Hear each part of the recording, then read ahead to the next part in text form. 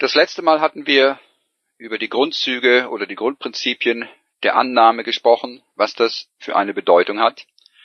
Und da möchte ich nochmal eben auf einen ganz wichtigen Punkt überhaupt eingehen bezüglich der Haltung, die eine Annahme immer zugrunde liegt. Und das ist, wenn man etwas annimmt, dann macht man es sich zu eigen. Das heißt, es ist nicht mehr ein Problem, was jetzt nur jemand anders hat, sondern was man jetzt selber auch angenommen hat zum Effekt der Lösung, also um eine Lösung herbeizuführen.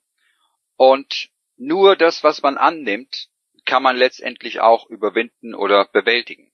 Und das, was man ständig bekämpft, das wird gegebenenfalls immer stärker, es sei denn, man ist selber auf einer, in einer sehr starken Situation, das heißt, wo man den anderen jederzeit unter Druck setzen kann auf die eine oder andere Weise, dann kann man natürlich argumentieren und den anderen bedrängen. Aber in der Regel ist das ja nicht der Fall in dem heutigen kommerziellen Leben. Das heißt, die Menschen, die ganz normal arbeiten und versuchen ihr Leben so zu organisieren, wie es am besten für sie ist, die sind nicht in so einer Position, dass sie sagen können, du, wenn du das jetzt nicht machst, dann aber. Also eine Annahme entschärft diese Situation. Das heißt, es gibt dann nicht mehr die Streiterei darum, wer macht wann was, sondern man sagt einfach, ich bin jetzt dafür verantwortlich und ich löse das so gut ich kann, meinen eigenen Mitteln nach.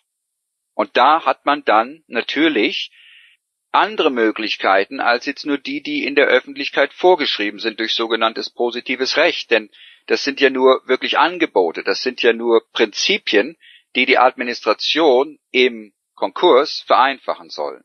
Ja, und wenn diese Prinzipien aber nicht ausreichend sind oder eine zu große Belastung für einen sind, dann muss man ins Private, das geht gar nicht anders, dann muss man sozusagen auf die Begünstigungen der Öffentlichkeit verzichten und die Dinge selber in die Hand nehmen und auf privater Ebene lösen. Und in diesem Zuge, bevor wir jetzt überhaupt weitersprechen über die Annahmen, macht jetzt überhaupt keinen Sinn, wenn wir nicht erst uns mit einem wichtigen Thema befassen, der wirklich allen kommerziellen Handlungen, die wir tun, zugrunde liegt. Und das ist der sogenannte, könnte man unter den Titel, unter den Begriff stellen, der administrative Prozess. Und was ist ein administrativer Prozess? Nun, das ist ein rein verwaltungstechnischer Prozess. Und da gibt es jetzt natürlich in der Öffentlichkeit Regeln dafür. Ich sage jetzt bewusst in der Öffentlichkeit. Und die kennen wir alle. Oder zumindest, vielleicht kennen wir sie nicht, aber wir erleben sie ständig. Und was ganz typisch ist in einem administrativen Prozess, das ist natürlich, dass die eine Partei an eine andere Partei, also Partei A, die etwas von Partei B will, schreibt also jetzt unter bestimmten öffentlichen Regeln und Gesetzen an die Partei B. Und das sind natürlich in beiden Fällen Personen. Ob natürlich oder juristisch spielt keine Rolle jetzt. Und Partei A macht also Stipulationen, zum Beispiel die monatliche Wasserrechnung oder die Telefonrechnung. Und dann steht da drin, hier anbei ist Ihre monatliche Wasserrechnung. Bitte begleichen Sie diese innerhalb von 14 Tagen oder 30 Tagen. Und da sieht man also sofort, dass das ein administrativer Prozess ist. Warum? Weil kein Beweis beigelegt wurde, dass überhaupt hier ein Schuldverhältnis vorliegt. Das heißt, dieses Schuldverhältnis wird vermutet. Und die Vermutung ist nicht ganz unbegründet natürlich, ganz einfach deswegen, weil ja der Empfänger des Wassers einen Vertrag unterzeichnet hat. Aber das ist also ein rein administrativer Prozess bezüglich dieses Vertrages. Das heißt, dieser Prozess administriert, verwaltet diesen Vertrag und sorgt dafür, dass auf unkomplizierte Art und Weise die Ziele und Zwecke des Vertrages umgesetzt werden können. Das hatten wir schon betrachtet, als wir uns generell über administratives Recht unterhalten hatten. Und administratives Recht wird durchgesetzt und begünstigt durch administrative Prozesse. So, jetzt Partei B, der Rechnungsempfänger, der weiß jetzt, was Sache ist. Er hat jetzt die Möglichkeit, er muss sich an die Frist halten, denn die ist dort niedergeschrieben. Und das ist sozusagen begründet, das ist auch rechtens so, weil derjenige, der die Rechnung initiiert hat, natürlich die Vertragshoheit hat, aufgrund der Tatsache, dass der Kunde einfach einen Vertrag unterschrieben hat, den der Vertragsgeber gestellt hatte. Und damit liegt bei ihm die Vertragshoheit und damit liegt bei ihm auch die administrative Gewalt bezüglich der Durchsetzung dieses Vertrages. Und jetzt kann er also verschiedene Dinge tun. Man muss immer bedenken, dass administratives Recht substanzielles Recht nicht verletzen kann. Jetzt, wenn der Empfänger bemerkt, er kann die Wasserrechnung nicht zahlen, dann muss er das natürlich der anderen Partei mitteilen. Und zwar in der Art und Weise, dass er zum Beispiel sagt, ja, Ihre Rechnung wurde zur Kenntnis genommen, ich muss Sie darüber in Kenntnis setzen, dass es mir nicht möglich ist, diese Rechnung in Form von Euro oder Überweisung zu begleichen. Oder zu dem Zeitpunkt zu begleichen. Das ist absolut legitim, sowas zu tun. Und wenn man dann eine gute Idee hat, wie man das anderweitig machen kann, dann kann man die natürlich gleich mit stipulieren. Denn erstens mal die zur Kenntnisnahme ist eigentlich hier auf der öffentlichen Seite eine, eine Art von, von Akzept. Genau das gleiche wie mit einer Kreditkarte zum Beispiel. Das ist genau das gleiche hier, ja. Und teilt man denen mit, dass man das nicht kann, dann setzen die sich mit einem in Verbindung und dann versuchen sie was auf öffentlicher Seite auszuhandeln, wie zum Beispiel eine Stundung der Zahlung, eine Reduzierung der monatlichen Zahlung und so weiter und so fort. Und äh, wenn man das annimmt, verwirft man natürlich seine privaten Möglichkeiten, das ist klar. Äh, das ist nichts weiter als eine Variierung des Vertrages auf öffentlicher Seite, an die man sich dann noch einmal bindet, dass man in einer bestimmten Art und Weise eben die Verbindlichkeiten auszugleichen gedenkt. Also sprich hier in Form von Überweisungen. Oder aber der Empfänger, also Partei B, schaut sich das an und sagt, okay, ich richte den Dauerauftrag ein, ich bezahle das jetzt sofort oder bis, bis die Frist abgelaufen ist. Ja. So. Oder er entscheidet sich, gar nichts zu tun. Naja, dann ist der nächste Schritt im administrativen Prozess, das ist auch öffentlich so äh, vorgeschrieben, dass eine Mahnung geschickt wird oder eine Erinnerung. Also in der Regel eine Mahnung. Die ist sehr freundlich, die erste Mahnung, die sagt sowas, sehr geehrter Herr sowieso, bezüglich der Rechnung Ihres äh, Wasserkontos die wir ihnen am so und so vielten geschickt hatten, konnten wir noch keinen Eingang einer Zahlung feststellen. Immer mehr geht das in eine bestimmte Richtung. Da wird dann nicht mehr davon gesprochen, dass es Ausgleich ist, sondern dass keine Zahlung festgestellt werden konnte. Und das ist natürlich ein Hinweis. Das ist ein Hinweis, dass man jetzt eigentlich schon im Verzug ist. Denn eigentlich ist man im Verzug, wenn die erste Frist verstreicht. Und dann reden Sie nicht mehr von Ausgleich sondern jetzt reden sie von Zahlung. Und jetzt stipulieren sie die Heilung in Form der Zahlung. Jetzt arbeiten sie darauf hinzu, dass die Partei B also die Verbindlichkeiten jetzt auf der öffentlichen Seite durchsetzbar in Euro ausgleicht. Das wäre also im Sinne der ersten Mahnung, kann man das äh, dann sofort bemerken. Und dagegen hat man natürlich eine Heilung. Das ist aber auch nur dann für den Fall, dass höhere Gewalt eintritt. Das heißt, man konnte überhaupt die Frist nicht wahrnehmen. Man war im Krankenhaus oder anderweitig.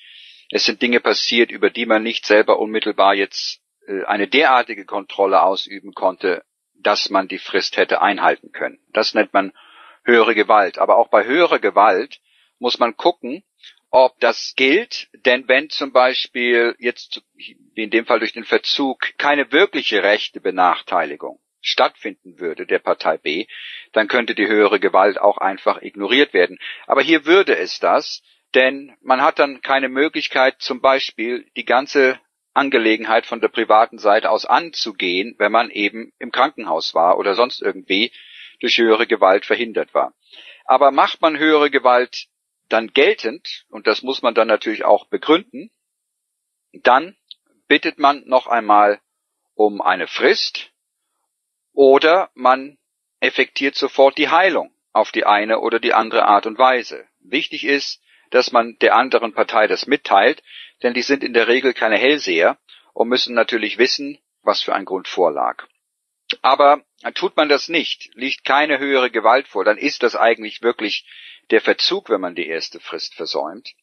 Und eigentlich ist das auch heute im öffentlichen Recht so schon festgelegt, dass der Verzug automatisch nach 30 Tagen eintritt. Ja, und man hat in der Regel eine 30 Tagesfrist. Und das ist auch eine korrekte Handlungsweise, denn 30 Tage sind mehr als genug, auf der öffentlichen Seite, um Dinge auf die eine oder andere Art und Weise zu regeln. Und liegt höhere Gewalt vor, dann kann man natürlich die Dinge auch noch nachträglich heilen, ohne dass einem daraus jetzt zumindest auf der öffentlichen Seite ein Nachteil entsteht. So, jetzt, wenn man natürlich dann auf die Erinnerung hin oder die Mahnung hin wieder nichts tut, dann kommt vielleicht noch eine Mahnung. Aber das heißt nicht, dass der Verzug nicht schon vorliegt. Und wenn dann auch wieder keine höhere Gewalt geltend gemacht wurde, naja, dann geht das Ganze wirklich eigentlich schon schnurstracks in ein Exekutionstitel über. Das heißt, die Schuld kann exekutiert werden, sagt man dazu. Das heißt, sie kann eingetrieben werden durch Gerichtsvollzieher oder aber durch Pfändungen auf die eine oder andere Art und Weise und alle möglichen rechtlichen Manöver. Das liegt einfach daran, weil niemand aufgetreten ist und gesagt hat, ich nehme mich dieser Schuld an. Okay, und auch wenn in der Öffentlichkeit Personen nichts weiter sind als Unterfranchisen oder Untergesellschaften des Staates, die ein bestimmtes Budget haben pro Monat, aus dem sie die öffentlichen Verbindlichkeiten tilgen müssen, so liegt eben doch wirklich eine Notwendigkeit vor, diese Schuld zu begleichen, zu tilgen, zu bezahlen, ganz gleich, wie man das jetzt erst einmal nennen will. Also der administrative Prozess besteht aus der, man kann jetzt nicht mal sagen Forderung erst einmal, sondern eigentlich aus der Rechnung. Es wird etwas vorgelegt. Es wird einer Partei etwas vorgelegt. Und ob Ihnen das vorgelegt werden oder Sie einer anderen Partei etwas vorlegen, eine Verbindlichkeit oder eine Tilgungsform, in dem Moment leiten Sie immer, ob jetzt öffentlich oder privat, wir kommen da wirklich auf den Unterschied dann später im Detail drauf, spielt keine Rolle. Derjenige, der etwas dem anderen vorlegt, leitet einen administrativen Prozess ein. Ja, denn auch die Geldschöpfung ist ein eine administrative Sache heutzutage. Also alles ist wirklich administrativ verwaltet.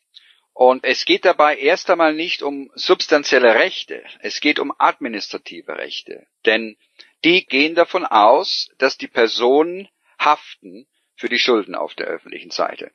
Und auf der Rückseite, auf der privaten Seite dieser Person, vor allen Dingen der natürlichen Person, steht die Substanz. Da ist etwas, was Energie hat. Da ist äh, jemand, der eine Unterschrift leisten kann. Da ist jemand, der handeln kann. Die Personen selber sind handlungsunfähig als Rechtskonstrukte, weil sie reine Fiktion sind.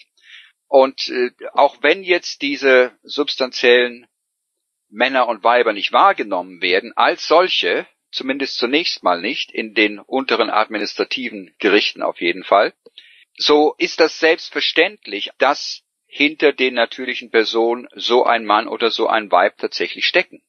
Das wird nur nicht jetzt äh, betont, das wird nur nicht ausgesprochen, denn das können die nicht aussprechen, denn täten sie das, dann würden sie ja Männer und Weiber als übergeordnet bestätigen. Und somit würde der Staat und der Konkurs sich selber sofort logisch gesehen ad absurdum führen. Das ist also der Grund, warum sie das nicht können und warum sie das auch nicht tun. Zumindest zunächst nicht. Ja, wenn in höheren Gerichten wie am Landgericht oder Oberlandesgericht in bestimmten Kammern äh, dann äh, sie nicht umhin kommen, die substanzielle Seite, die wirklich rechtliche Seite zu betrachten durch eine richterliche Anhörung, dann ist das etwas anderes. Dann kann ein Richter so etwas auch sehen und so ein Mann und so ein Weib auch sehen, wenn derjenige sich korrekt verhält in diesen Gerichten. Ja, und da nicht auftritt wie ein Elefant im Porzellanladen, sondern lediglich hier es ihm darum geht, dass er seine privaten Rechte hier durchsetzen will und sozusagen äh, dem Staat ein Hindernis bereiten will, diese substanziellen Rechte angreifen zu können.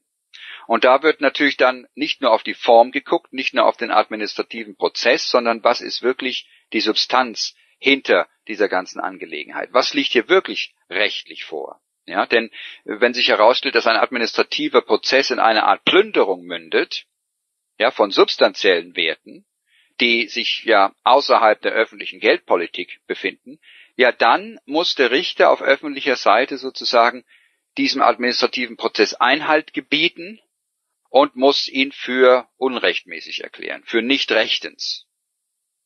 Und dann müssen die Parteien eine andere Lösung finden.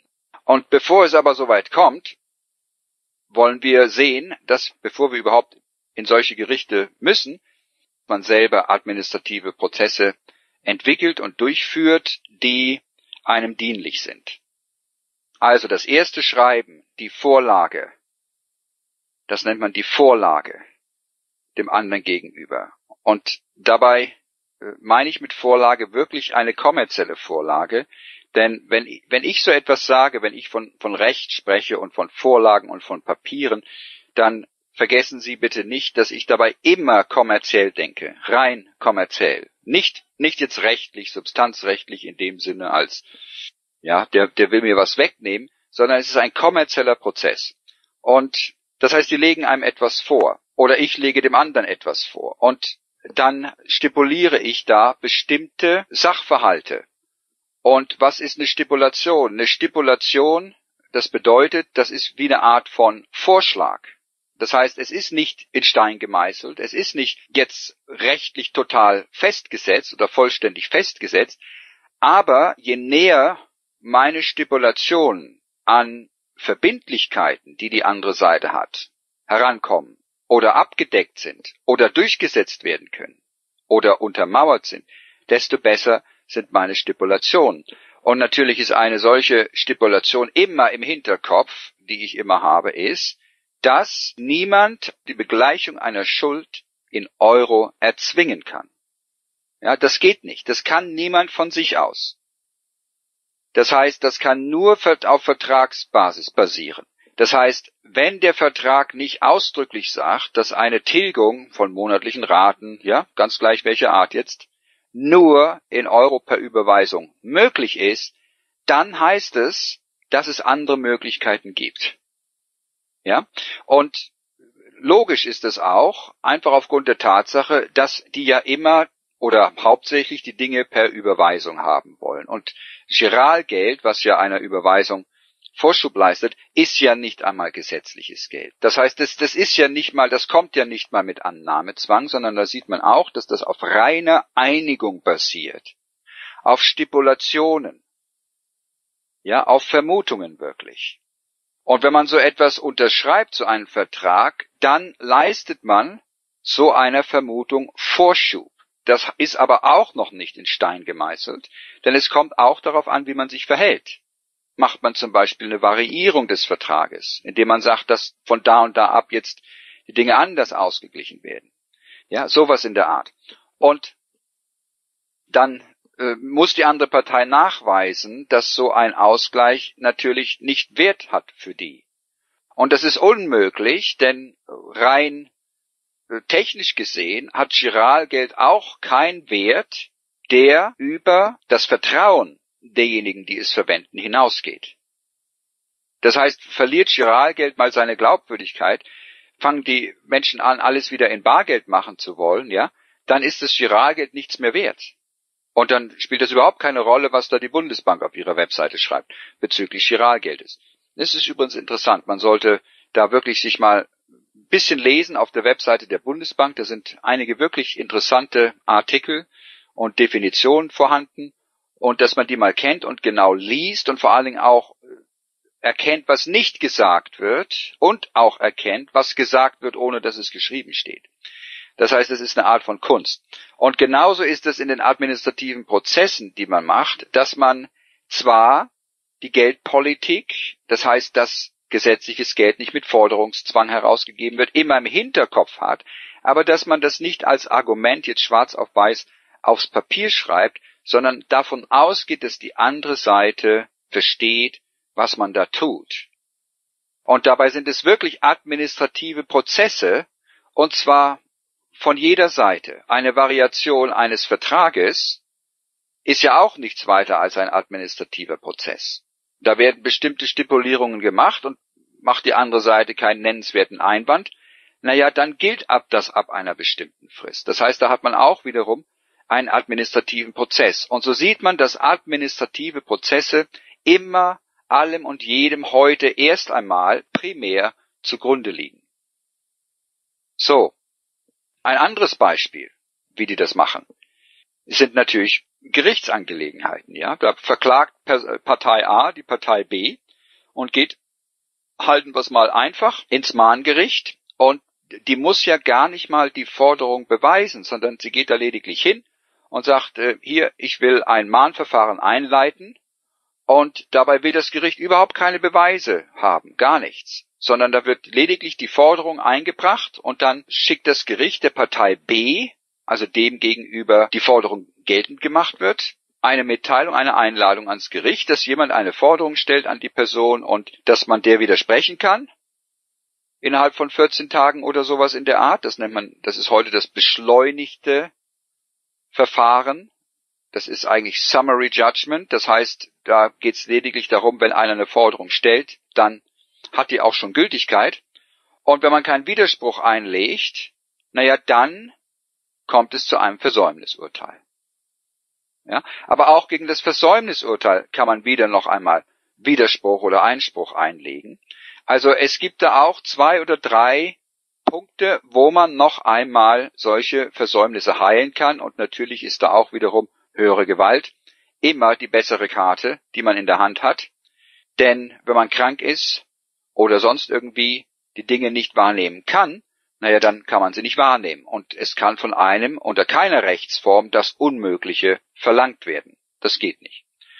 Also Sie sehen schon, überall sind es administrative Prozesse, also rein verwaltungstechnische Abläufe. Und das hat gar nichts mit der Substanz einer Sache zu tun. Denn zum Beispiel beim Mahnverfahren muss ja der Gläubiger, der ins Gericht geht, der sogenannte Gläubiger, ja erst einmal gar nicht die Beweise liefern, wie die Forderung zustande gekommen ist. Und das ist eine interessante Sache, dass da merkt man sofort, dass das ganz grundlegend vom Naturrecht abweicht, wo wenn früher Menschen ins Gericht gegangen sind, ja, da mussten sie ihre Forderung mit einer Erklärung unter Eid begründen. Und es wurde diese Erklärung unter Eid dann dem Schuldner zugestellt von Seiten des Gerichts.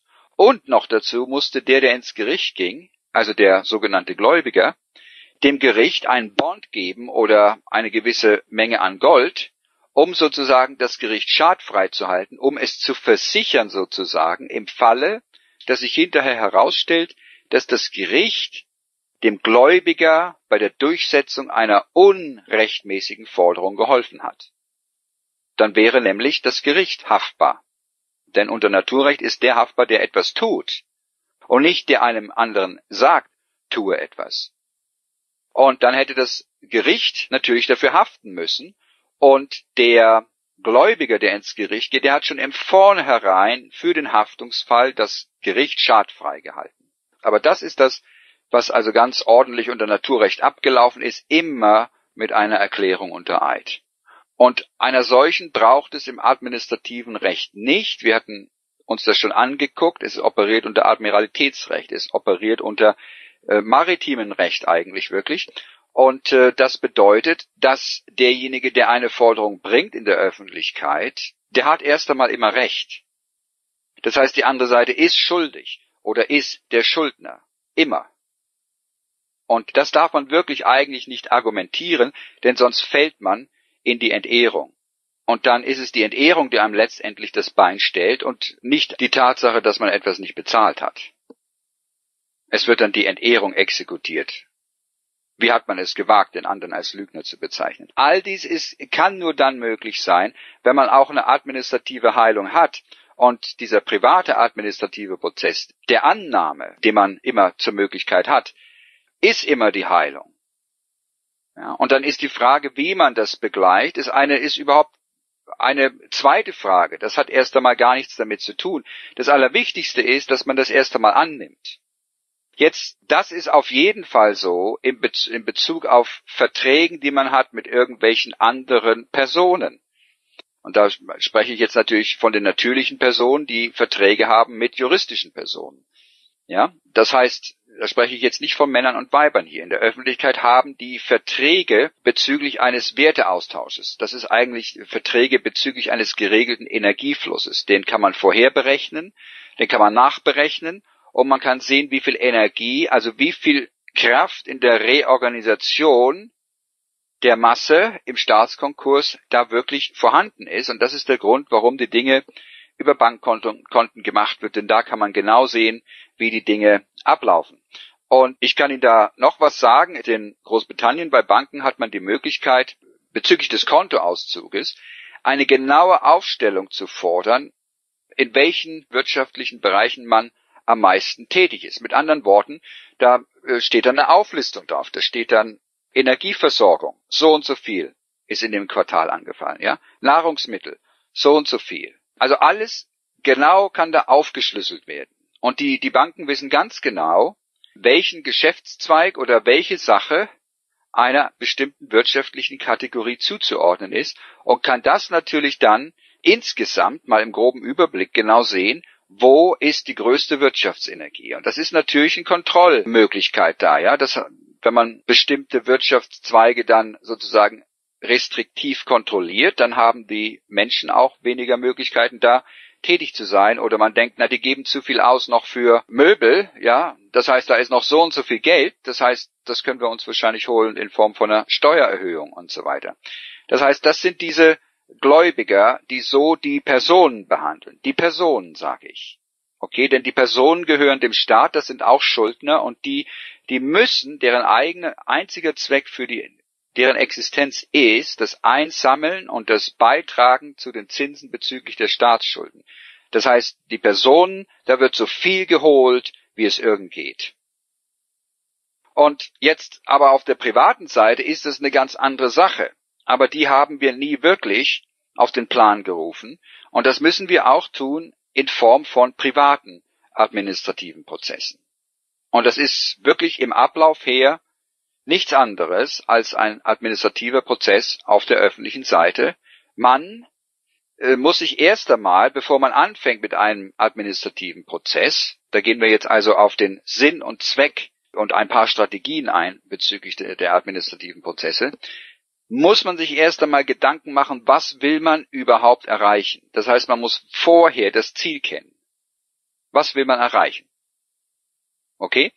Und in der Regel wollen wir erreichen, dass die andere Seite uns keine großen Schwierigkeiten da macht in Bezug auf eine Annahme zum Beispiel. Oder wenn es um eine Hypothek geht, vielleicht äh, eines mit einem Zahlungsversprechen und so weiter. Aber diese Dinge müssen immer gut vorbereitet werden, vor allen Dingen gedanklich. Das heißt, was ist der Sinn und Zweck, den wir verfolgen und erreichen wollen?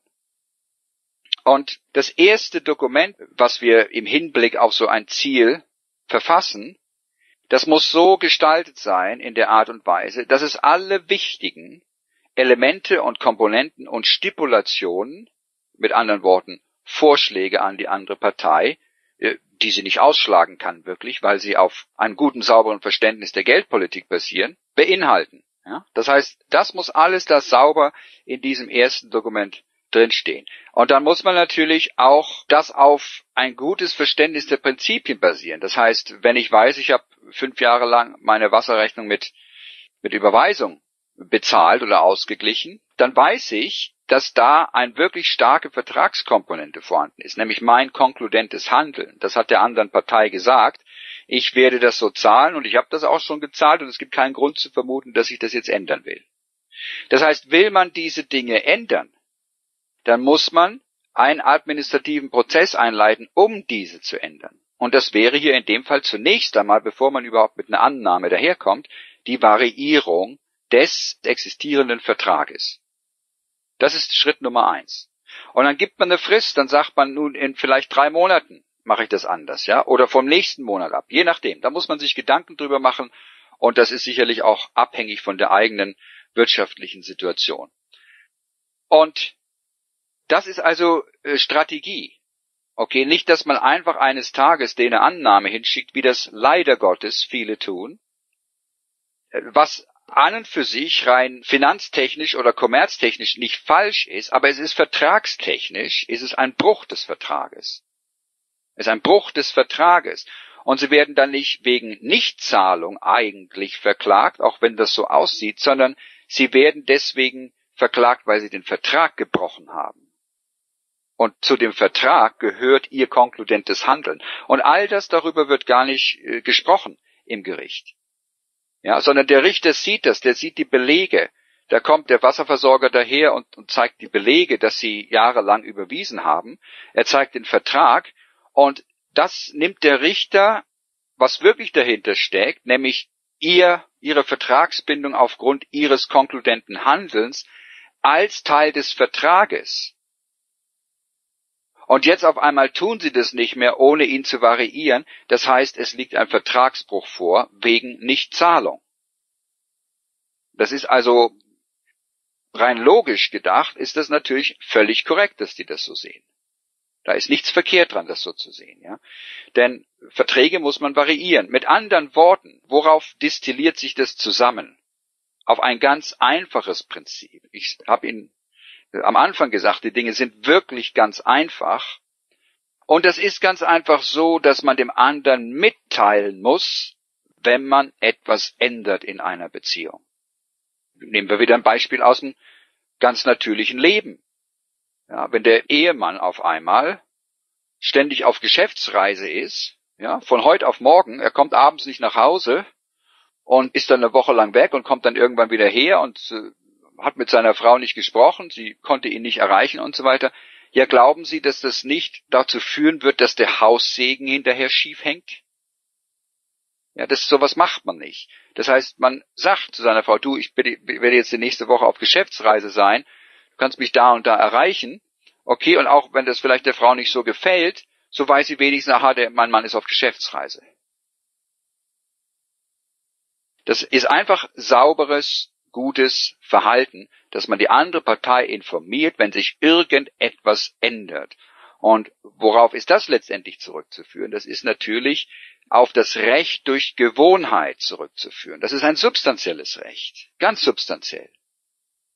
Das heißt, liegt eine gewisse Gewohnheit vor oder auch ein Gebrauch, dann muss man das nicht extra in ein Gesetz formulieren, in einem positiven Recht formulieren, wenn es eh Gebrauch ist und jeder das als Gebrauch versteht, es jeder mehr oder weniger verwendet. Ja, oder aber wenigstens die Handlungsweisen aufgrund dieses Gebrauches versteht und für selbstverständlich empfindet. Und da sehen Sie, wie die Dinge, die aus dem Naturrecht kommen, ihr Spiegelbild finden, auch im Kommerz und auch in den administrativen Prozessen. Das heißt, die administrativen Prozesse verletzen wirklich nicht per se, sage ich jetzt per se, die Auswirkungen im Einzelfall eines administrativen Prozesses können das tun, aber per se verletzen sie nicht die substanziellen Rechte der Männer und Weiber. Und das ist wichtig, dass man das versteht. Per se tun sie das nicht. Im Einzelfall ja kann der Effekt, also die Auswirkung eines vollzogenen administrativen Prozesses die substanziellen Rechte einzelner Männer und Weiber belangen, wo dann auch eine Heilung da natürlich vorliegt. Aber per se, von sich aus, tun sie das nicht. Das heißt, sie müssen auch gewissermaßen die substanziellen Rechte wahren. Und das tun sie auch. Das heißt mit anderen Worten, man hat diese natürlichen Prinzipien einfach verpackt in einen flüssig laufenden administrativen Prozess. Und deswegen spricht man im Gericht von der Zivilprozessordnung, von der Strafprozessordnung, von der, weiß ich nicht was, Gerichtsvollzieher Ordnung. Ja, das sind alles Prozesse, die da beschrieben werden. Und wenn man da genau hinguckt, dann ist da nichts dabei, wo man sagen kann, hier per se verletzt dieser Schritt hier oder die Kombination von Schritten die substanziellen Rechte. Das kann man nicht sagen. Da wird, das wird einem schwerfallen, so etwas zu finden. Und das wäre dann, wenn das tatsächlich der Fall wäre, wenn man so etwas finden würde, dann wäre das ungesetzlich und sowas kann man natürlich kippen. Aber dann kippt man nur einzelne Kombinationen oder einzelne Absätze und Paragraphen, niemals das ganze Ding. Denn das ganze Ding, es ist unwahrscheinlich, dass das ganze Ding in jedem einzelnen Schritt die substanziellen Rechte eines Mannes oder eines Weibes verletzt. Ja, das, es ist keine Diktatur, zumindest nicht durch die administrativen Prozesse. So, und das müssen wir also auch in unseren administrativen Prozessen berücksichtigen, dass wir immer bestimmte Prinzipien aufrechterhalten. Und das ist, dass man der anderen Seite ankündigt, was man tun wird oder ändern wird. Ja, dass man damit dann auch der anderen Seite die Möglichkeit gibt, dem zu widersprechen, indem sie klar macht, dass sie dadurch einen Rechteverlust erleidet, der äh, sozusagen nicht äh, aufgefangen wird durch die Änderung, durch die vorgeschlagene Änderung. Das heißt, Partei B, die eine Vertragsänderung vorschlägt gegenüber Partei A. Partei A sieht das und macht dann Partei B gegenüber geltend, nee, das können wir so nicht machen, und zwar deswegen, weil sie keinen gebührlichen Ausgleich anderweitig bereitstellen für den Rechteverlust, den wir durch diese Veränderung hinnehmen müssen. Ja? Also, mit anderen Worten, äh, gebe ich jemandem 100 Euro und der verspricht mir, die mir zurückzugeben und dann eines Tages gibt er mir anstattdessen einen Sack Kartoffeln, dann muss ich sagen, muss ich ihm sagen, nee, du, das ist aber nicht der Wert, das ist, das kann ich so nicht annehmen, weil das nicht dem Wert entspricht dessen. Schau mal, ob du da eine andere Möglichkeit findest, wenn du die 100 Euro nicht zahlen kannst. Und ich kann ihn dann diesbezüglich einfach in den Verzug setzen. Wenn er aber daherkommt und sagt, jetzt du, ich kann die 100 Euro nicht aufbringen, aus dem einen oder dem anderen Grund, und ich gebe dir jetzt so lange Kartoffeln, bis die 100 Euro abbezahlt sind, dann muss ich mir jetzt überlegen, verliere ich dadurch einen Wert? Oder ist das ein unzumutbarer Werteverlust? Naja, für 100 Euro Kartoffeln, ich kann damit wahrscheinlich meine Familie eine ganze, eine längere Zeit ernähren. Okay, also die Sache ist die, ich muss sagen, nein, ist es letztendlich nicht. Es ist kein Werteverlust. Es ist ein anderer Wert. Ich kriege zwar die 100 Euro nicht wieder. Mit anderen Worten, was dadurch entstanden ist, ist, ich habe vom anderen Kartoffeln im Wert von 100 Euro erworben. Und die liefert er mir regelmäßig jetzt, bis die 100 Euro sozusagen verbraucht sind. Das heißt, das ist eine, eine andere Transaktion, eine andere geschäftliche Transaktion, die zu keinem wirklichen Werteverlust führt. Jetzt ist es aber so, dass es zu einem Profitverlust führen kann. Und äh, sobald Profit ins Spiel kommt, und das ist ja bei öffentlichen Firmen immer der Fall, Profite, sobald die ins Spiel kommen, dann sieht die ganze Sache etwas anders aus. Denn es geht hier nicht mehr nur um das Kapital jetzt, sondern es geht um die Profite. Mit anderen Worten, um wieder ein substanzielles Bild zu finden, leihe ich jemandem 100 Euro für ein Jahr und verlange dafür 10% Zinsen, dann will ich nach einem Jahr 110 Euro zurückhaben. Okay? Und äh, ich baue auf diese, auf diesen Profit in Form der 10 Euro, denn aus diesem Grund äh, mache ich solche Art von Geschäften. So, jetzt kommt er daher und will mir alles zuzüglich der Zinsen in 100, in Kartoffeln im Wert von 110 Euro zahlen. Ja, dann kann ich sagen, nein, das geht nicht. Äh, die Profite, die Zinsen, die müssen Sie bezahlen. Also die 10 Euro müssen Sie zahlen und den Rest können Sie mir in Kartoffeln liefern. Ja, denn sonst müsste ich einen wirklichen geschäftlichen Rechteverlust hinnehmen, nämlich, dass ich Profit machen will. Und in der Öffentlichkeit sind Profite eigentlich äh, immer krimineller Natur, weil sie letztendlich, oder sagen wir nicht krimineller Natur, aber äh, es kann es sein, wenn sie der anderen Partei alternative Heilungen verweigern. Ja, denn Profite machen in der Öffentlichkeit, das Einbehalten von Geldern, die von der privaten Seite von Männern und Weibern kommen, das ist nicht gerechtfertigt. Gleiche ich also eine Rechnung von 100 Euro mit einer Annahme aus, dann haben Sie keinen Gewinn gemacht. Okay, und jetzt ist aber hier in dem Fall das Streben nach Gewinn, das Streben nach Profiten nicht gerechtfertigt, weil sie eh auf Kredit hin operieren und nichts weiter sind als zur Eintreibung der Zinsen für die nationalen Schulden dienen. Alle Geschäfte, alle Firmen tun das in der Öffentlichkeit. Und solche Dinge, da muss man ein bisschen sich drüber Gedanken machen bezüglich des administrativen Prozesses, aber ich kann Sie trösten, Sie werden das irgendwann selber äh, erkennen, sofern sie das nicht schon haben.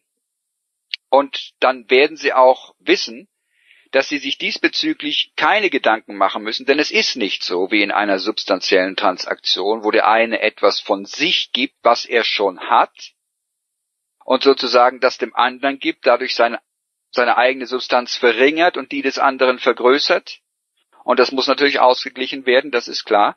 Sondern in der Öffentlichkeit haben diese Firmen, kriegen alles reingestopft von vornherein.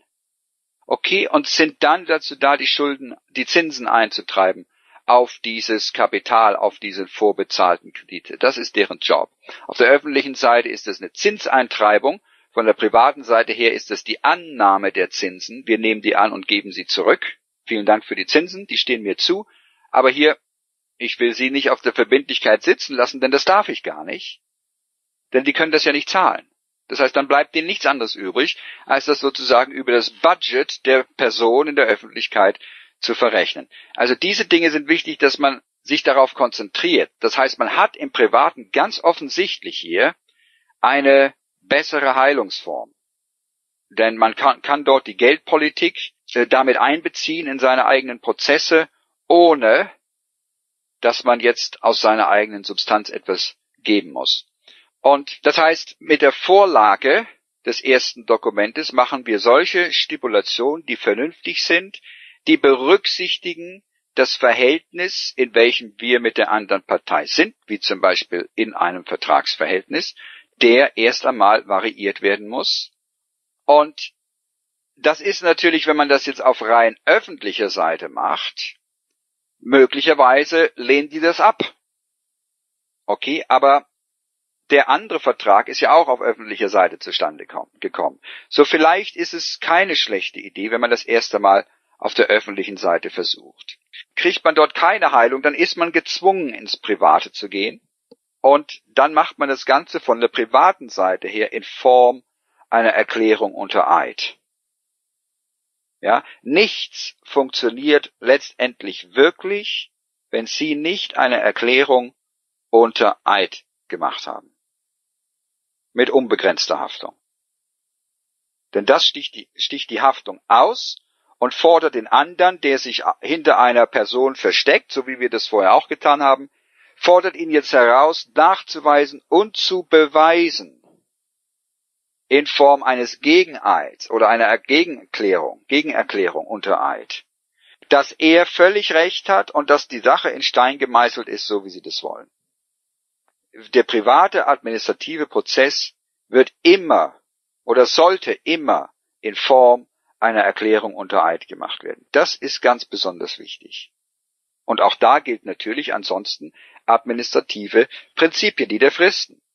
Ja, wenn der andere nicht bis dahin dahin die Tatsachen widerlegt, und das sind Tatsachen, wenn ich die unter Eid aussage mit unbegrenzter Haftung, dann sind das Tatsachen. Darüber gibt es nichts zu streiten. Das sind Tatsachen.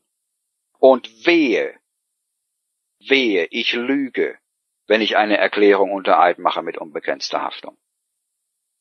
Da sei ich mir am besten ganz sicher, dass alles, was ich schreibe, korrekt ist. Das heißt, dass die Rechtsauffassung, die ich habe, korrekt ist. Oder zumindest, dass ich der absoluten Überzeugung bin, dass sie korrekt ist. Das sind die Tatsachen dann bezüglich meiner Sichtweise, meiner Rechtsauffassung. Und wenn die natürlich untermauert sind mit Prinzipien des Naturrechts, was man übrigens nicht schwarz auf weiß schreibt, sondern was von alleine sichtbar wird, in der Art und Weise, wie man die Dinge dort als Tatsachen darstellt. Das ist nicht weiter schwer, wirklich. Ja, das ist eigentlich sehr einfach. Dann haben die natürlich gleich dreimal so viel Biss. Denn das ist etwas, wogegen der andere nichts sagen kann wo der andere nicht daherkommen kann mit unbegrenzter Haftung und sagen kann, er lügt, das ist falsch. Und hier ist, warum es falsch ist. Ja, da muss der andere wirklich ganz genau wissen, dass das, was ich als Tatsachen in meiner Erklärung unter Eid dargestellt habe, falsch ist. Und das kann die andere Partei nicht. Warum nicht? Weil ich sie jetzt auf die private Seite ziehe. Mit anderen Worten, ich sage, du bist jetzt verantwortlich und jetzt genehmige ich dir nicht mehr, dass du eine öffentliche Person verwendest, eine öffentliche Position, auch wenn es dein Job ist, um mir in der Substanz einen Schaden zuzufügen. Das erlaube ich dir jetzt nicht mehr. Okay, wir müssen die Dinge so regeln können, denn ich bin der absoluten Überzeugung, dass mein Heilungsvorschlag, meine Heilung, zum Beispiel die Annahme, ja, dir keinen unzumutbaren Rechteverlust zufügt, und dass es durchaus ein Papier ist, mit der du etwas anfangen kannst, die Wert hat für dich zur Verrechnung und die sozusagen die Schuld wirklich ausgleicht. So, mit anderen Worten, ich fordere den anderen jetzt heraus, Farbe zu bekennen. Denn das ist es das, was es ist. Jetzt nicht den Sachbearbeiter da irgendwo weiter unten in der Hierarchie, sondern wirklich weiter oben wo man wirklich Menschen hat, die ganz anders aufgewachsen sind, ganz anders erzogen wurden, wie das, wie wir das normalerweise sind, den fordert man jetzt heraus in das Territorium der unbegrenzten Haftbarkeit. Und da will er nicht sein. Mit hundertprozentiger Sicherheit will er da nicht sein, denn da weiß er, ist er unterlegen. Er ist unterlegen, weil er nicht die Wahrheit einfach unter Eid widerlegen kann. Da will er nicht sein.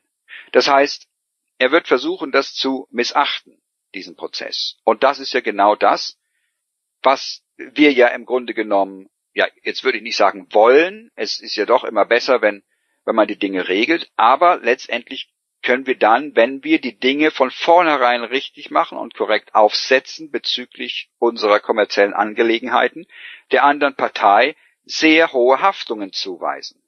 Mit anderen Worten, es ist es für die andere Partei nicht mehr wert, hier zu plündern, denn die Haftung, die dann hinten von der privaten Seite herkommt, die wird so hoch sein, dass es besser gewesen wäre, wenn man vielleicht die 3000 Euro jährliche Stromrechnung oder Wasserrechnung so äh, einfach jetzt verrechnet hätte. Ja, und dann auf einmal kommen da exorbitante äh, Verbindlichkeiten und Haftungen zustande.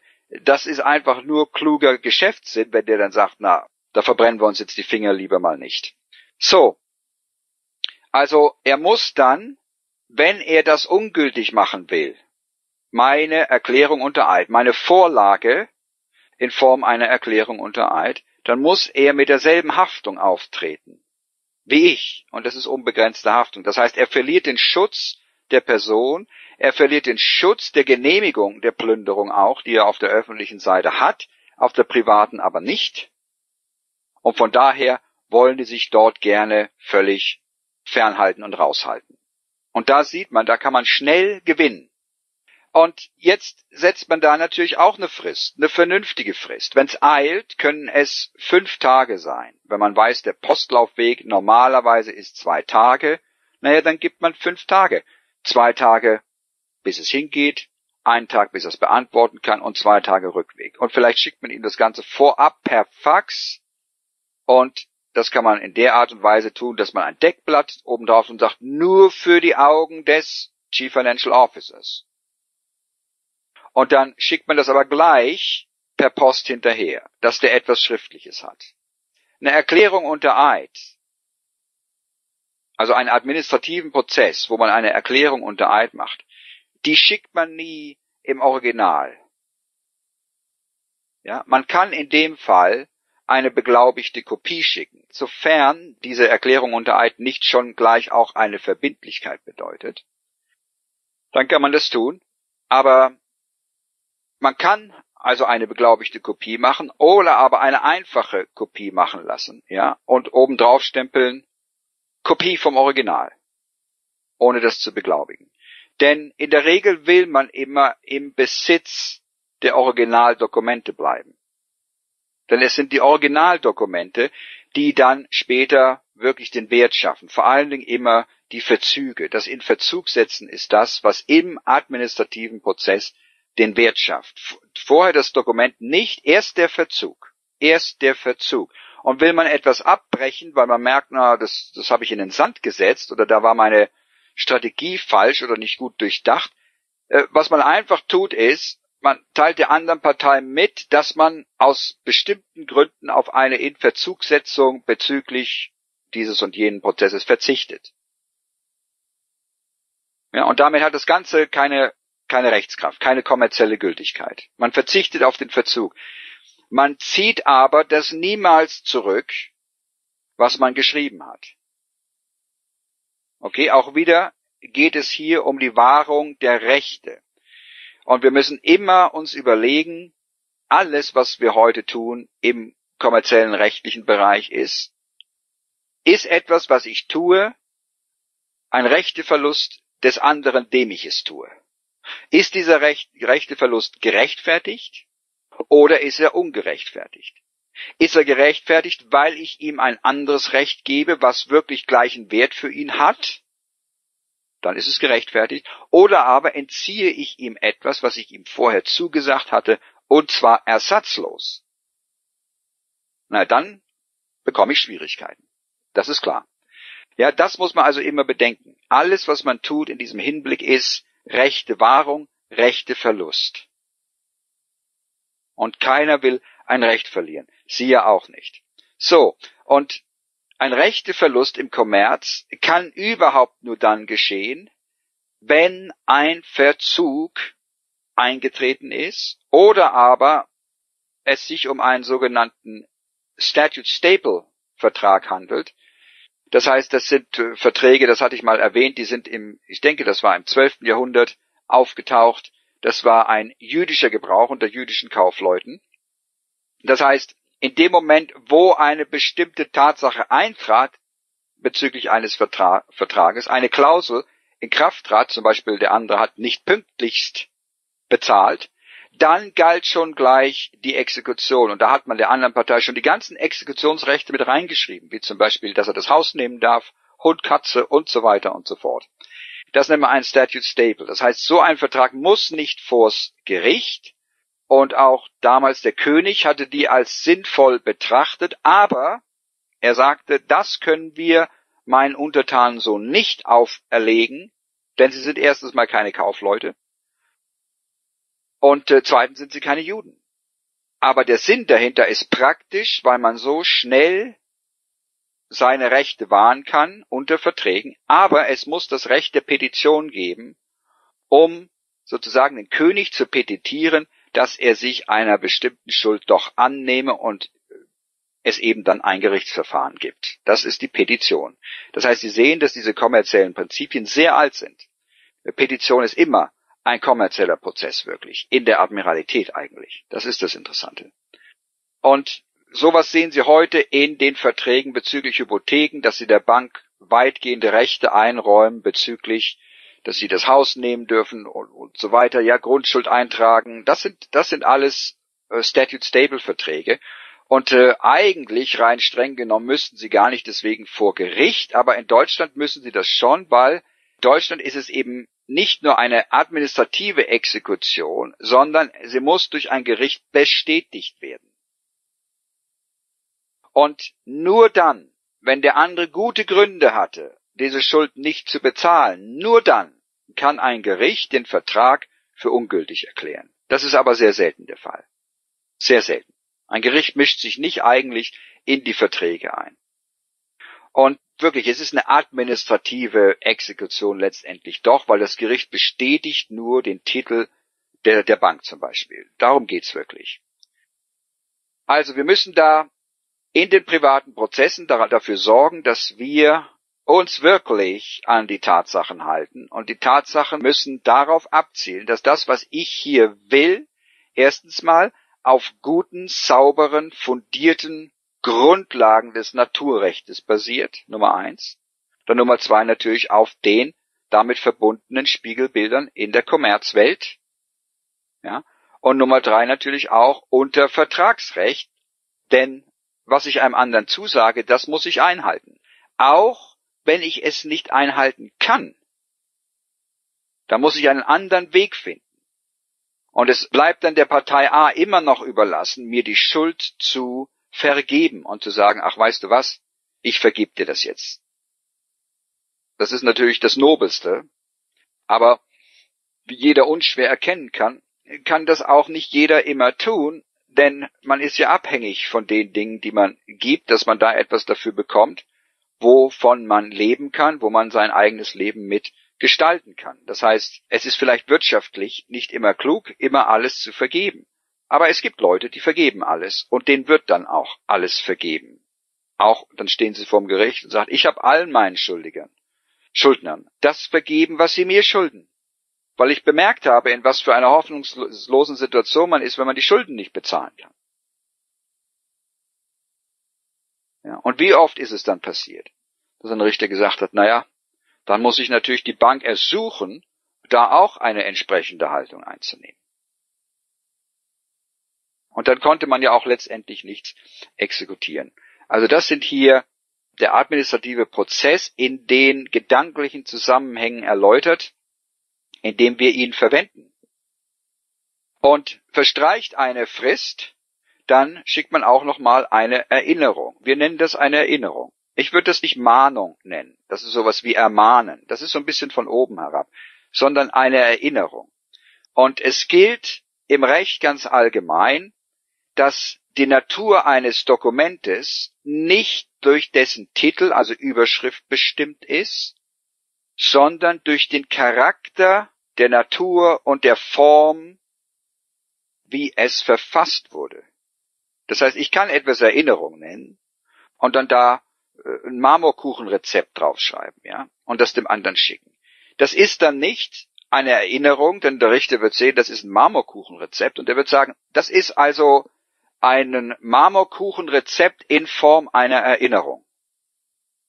Ja, oder andersherum, er könnte sagen, es ist eine Erinnerung in Form eines Marmorkuchenrezeptes. Und dann muss er sich Gedanken darüber machen, was für eine rechtliche Relevanz das möglicherweise hätte und kommt zu dem Schluss, hm, also ich kann hier keine Gültigkeit oder keinen Bezug sehen zu dem Hypothekenvertrag und wird es also beiseite legen. Also, es kommt nicht auf die Überschrift drauf an, sondern es kommt auf den Form, auf die Form und den Inhalt drauf an. Also, auch wenn es eine Mahnung ist, der Form nach und dem Inhalt nach, so machen wir das in Form einer Erinnerung. Jetzt, diese Erinnerung muss nicht unter Eid gemacht werden. Sie sollte in dem Stile sein, wie wenn sie unter Eid gemacht wäre, also in der gleichen Form, dieselben ähm, Worte verwenden, denselben Stil, den man verwendet, ja, auch betonen, dass es privat ist, aber wir brauchen das nicht unter Eid tun. Und da können wir übrigens auch das Original dann schicken, da behalten wir lediglich eine Kopie, denn das ist wirklich nur eine formlose Sache. Man will dem anderen nur ein bisschen einen Schubs in die richtige Richtung geben. Im Falle, dass was passiert ist, dass er das nicht in Vergessenheit geraten lässt und dass er etwas tut. Und letztendlich aber kommt der Verzug. Auch von unserer Seite, auch von der privaten Seite. Und der Verzug ist immer, immer unter Eid zu leisten. Immer unter Eid zu leisten. Okay? Und da wird einfach nochmal beschrieben, was man administrativ gemacht hat. Da muss man nicht mehr nochmal drauf eingehen, auf den ganzen Inhalt der Originalvorlage, also des ersten Dokumentes, an die andere Partei, sondern da kommt dann sowas rein wie, dass an dem und dem Tage man ein Dokument namens sowieso, siehe Beilage sowieso, übersendet hat. Dass bis dahin dahin nichts kam, dass man eine Erinnerung geschickt hatte, all das unter Eid. Und dass mit dem heutigen Tage wiederhin nichts kam. Und somit die andere Partei im Verzug ist. Und somit die folgenden Rechte gelten oder die andere Seite derer verlustig gegangen ist. Ja? Und da dürfen Sie nichts Neues hinzufügen. Man darf weder in einer Erinnerung noch in einem Verzug irgendwelche neuen Stipulationen machen, irgendwelche neuen Verbindlichkeiten der anderen Partei auferlegen. Das geht nicht. Das heißt, man kann lediglich das wiederholen, was man sowieso in der Erklärung unter Eid als Stipulation bezüglich einer Nichtantwort durch die Partei A sozusagen für Rechte erwerben würde. Ja? So, der Verzug selber ist ex parte. Das heißt, wir müssen nicht noch einmal denen das eigentlich hinschicken, aber im Privaten tun wir das. Wir schicken niemals das Original, denn der Verzug ist wirklich das Papier, was den Wert schafft. Das ist das, was den Wert schafft. Nichts vorher schafft den Wert. Das, was vorher war, dient lediglich jetzt sozusagen, ist dem Verzug untergeordnet. Das dient als Fundament des Verzuges, was nett ist, wenn man das mal lesen kann, aber interessieren tut das keinen letztendlich. Ja, ich weiß das von Banken. Das erste, wonach sie suchen, ist der Verzug. Und dann gucken sie sich an, aha, dann schauen sie sich das, den Wert an. Oh, okay, solche Rechte, ja, das ist okay. Aber sie, sie interessiert es nicht, wie das zustande gekommen ist, warum das zustande gekommen ist, das interessiert sie nicht. Das erste, wonach sie gucken, ist der Verzug. Und der ist ex parte. Aber einfach nur der guten Form halber schicken wir das an die andere Partei. Und jetzt kommt etwas Interessantes, das habe ich und andere immer wieder erlebt.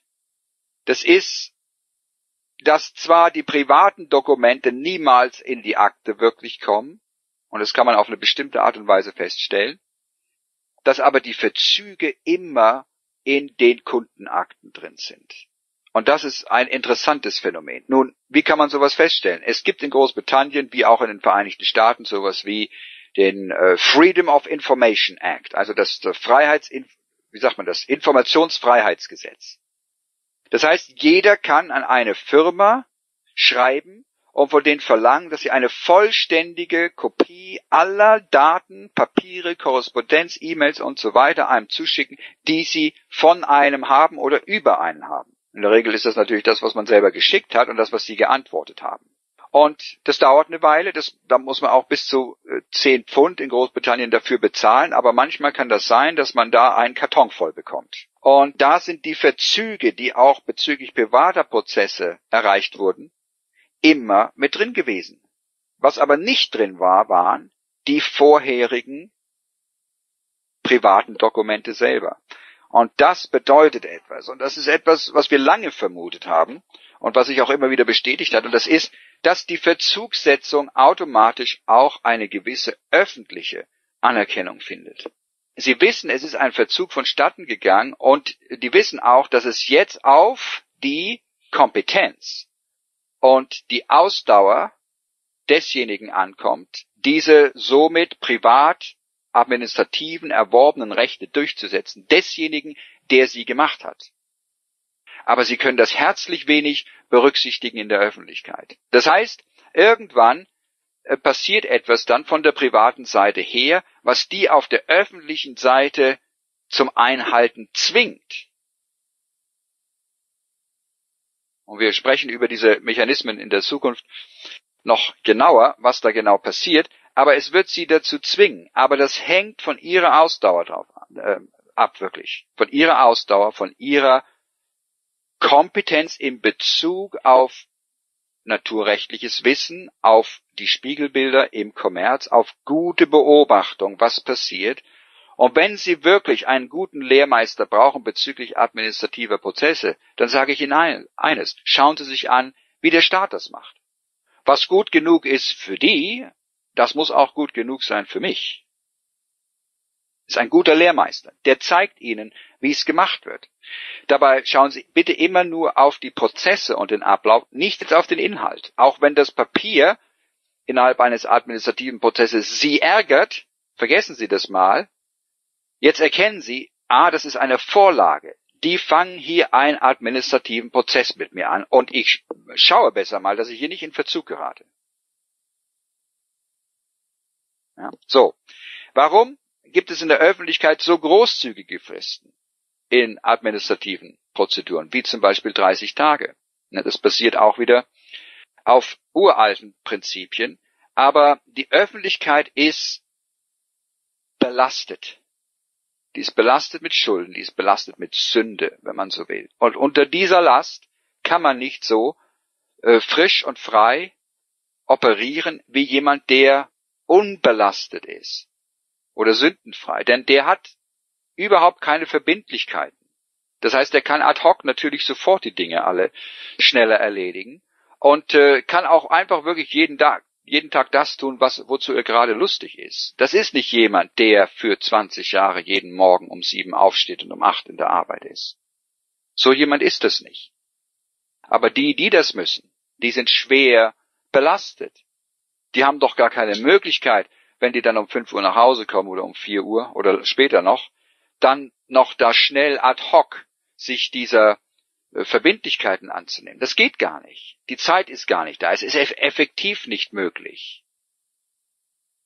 Aber es liegen dann Wochenenden dazwischen und vielleicht auch Ferien und es gibt dann die Daueraufträge und so weiter. Ja, alle diese Dinge, die kann man tun, um sozusagen sich zu entledigen dieser administrativen Belastungen in der Öffentlichkeit.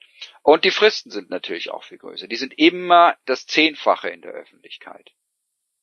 Im Privaten, also wenn Sie eine Frist haben in der Öffentlichkeit, dann teilen Sie die durch zehn und dann wissen Sie, wie viel Frist Sie im Privaten haben. Ja? Und das ist in privaten Prozessen. Vor allen Dingen, wenn man reagiert. Das heißt, wenn man auf eine Vorlage hin reagiert und man will eine Vorlage aus der öffentlichen Seite in die private Seite übernehmen und mit ihr privat umgehen, dann hat man wirklich nur 24 Stunden. Okay, ich sehe das, das liegt mir vor, Eingangsstempel drauf. An dem Tag, wo der Eingangsstempel drauf ist, da mache ich zum Beispiel die Annahme und an demselben Tag schicke ich das auch noch weg. Ja, das alles sozusagen in einem Tag passiert, innerhalb einer 24-Stunden-Periode, aber diese 24 Stunden enden immer mit Mitternacht. Wenn nach Mitternacht fängt ein neuer Tag an. Das heißt, man hat wirklich nicht viel Zeit. Und das äh, bei den meisten, wo das mit den Annahmen ein ewiges Hin und Her ist, ist ganz einfach, weil sie sich daran nicht halten. Ja, und äh, dann kommen natürlich Fragen, ja, aber meine Güte, ich bekomme jeden Tag eine Rechnung, ich kann doch nicht für jeden Tag das tun. Dann, dann ist das, dann denkt man wieder nicht weit genug voraus. Das heißt, man muss die Dinge ja auch vereinfachen. Und nichts hindert einen daran, bei seinen verschiedenen Versorgern denen eine Mitteilung zu machen. Eine Variierung des Vertrages zum Beispiel, ja? Einen administrativen Prozess, eine Vorlage der einer Variierung. Wie zum Beispiel, dass man eine annahmefähige Rechnung, Stromrechnung, eine geschätzte Rechnung für die ganzen nächsten zwölf Monate von denen bekommt. Die einem zur Annahme vorgelegt wird. So. Ja, und kommt die da nicht, dann schätzt man die selber. Dann schreibt man selber eine Rechnung, man zieht diese Rechnung auf seinen eigenen Namen zugunsten der anderen Partei und nimmt die für wert an. Und schickt es denen hin. In im Einklang mit den administrativen Vertragsvariierungen, die wir erzielt haben. Niemand kann einen daran hindern, denn man begünstigt ja nicht sich selber, man entzieht ja dem anderen kein Recht dadurch. Ich kann eine Rechnung auf meinen eigenen Namen ziehen oder auf den Namen der Person und die andere Partei unter dieser Rechnung begünstigen. Ist überhaupt kein Problem. Das kann ich doch tun. So, und äh, dann gleicht man das im Voraus aus, sodass man nicht dann jeden Monat ja diesen administrativen Aufwand hat. Das heißt, man gestaltet die Dinge so, dass auch private administrative Prozesse zeitlich möglich sind. Und ich sage Ihnen eins, im Privaten können Sie nichts anbrennen lassen. Können Sie nicht. Sie haben nicht die Fristen, die die Ihnen setzen. Wenn die bitten um 14 Tage, innerhalb welcher sie etwas tun, sie haben keine 14 Tage. Sie haben 24 Stunden, um die Sache von der privaten Seite her zu regeln. Danach sind sie in der Öffentlichkeit. Das ist strikt, das ist streng. Jetzt sehen Sie schon, dass es keine besonders gute Idee ist. Vielleicht muss man das manchmal tun aufgrund von Notwendigkeiten. Das verstehe ich natürlich schon. Aber es ist generell gesehen keine gute Idee, wenn man einfach anfängt mit Annahmen und Akzeptanzen und administrativen Prozessen, wenn man das nicht versteht, denn da kommt man so schnell ins Schleudern und ins Schwimmen. Und man kann einfach den Druck und diese äh, Zeitnähe, die man immer aufrechterhalten muss, in Bezug auf Antworten und auch oh, bezüglich der eigenen Prozesse, ja, die aufrechtzuerhalten, dass das dann in einen endlosen Stress ausartet. Das heißt, man muss sich erst einmal hinsetzen und sich überlegen, wie kann man administrativen Prozess so nutzen, dass man sich erst einmal Raum schafft, dass man sich Zeit schafft. Das ist das Erste. Denken Sie wahrscheinlich, was heißt das hier Zeit schafft? Er hat doch gerade gesagt, man hat nur 24 Stunden. Naja, dass man sich Zeit schafft in der Art und Weise, dass man den Abstand von bestimmten Verbindlichkeiten, die ja immer wiederkehren, vergrößert. Okay? Und das macht man erstmal administrativ. Jetzt sind sie in einer prekären finanziellen Lage.